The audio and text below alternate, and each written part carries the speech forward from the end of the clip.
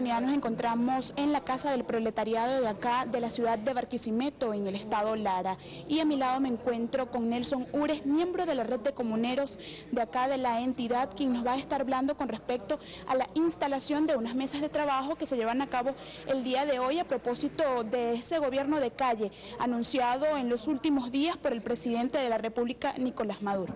Bien, eh, desde acá del Estado Lara, de la Casa del Proletariado, sede del Poder Comunal en Gobierno, estamos hoy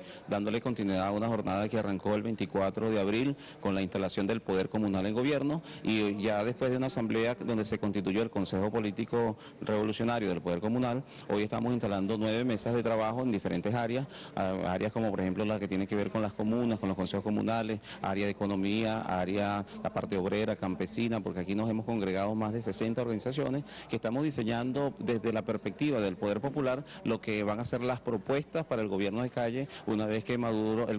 nuestro presidente Nicolás Maduro arribe aquí a nuestro estado y se las vamos a presentar de manera eh, coherente, coordinada. Es un proceso que nosotros hemos asumido desde la perspectiva de la constituyente del pueblo, constitución. El 24 de junio nos vamos a congregar nuevamente en asamblea porque le, estamos dando cuerpo y alma a lo que establece el artículo 5 de la constitución, que la soberanía radica en el pueblo. Por eso nosotros ya nos estamos organizando, esto tiene un avance bien interesante, nosotros queremos establecer incluso mecanismos de cogobierno con las mismas instituciones nacionales para poder echar adelante lo que es la misión eficiencia o nada en las instituciones para que de cara a eso nosotros podamos estar en mejor condiciones de enfrentar la política fascista de la derecha, estar en condiciones de construir un gobierno realmente eficiente de cara a las necesidades de nuestra gente y rescatar lo que es la economía eh, en general del Estado de Lara porque está completamente abandonada por parte del gobierno regional de Henry Falcón, quien se ha dedicado más que todo es a generar violencia, generar inestabilidad. Por esa razón nosotros hoy estamos instalando esta mesa de trabajo,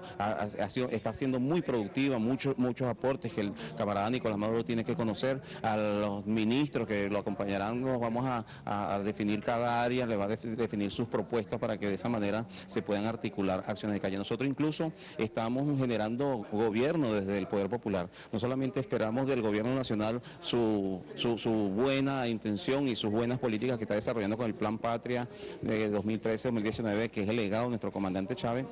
Sino que estamos generando políticas concretas. ¿Cuáles son esas principales propuestas que se dejan escuchar por parte del pueblo, por parte del Poder Popular?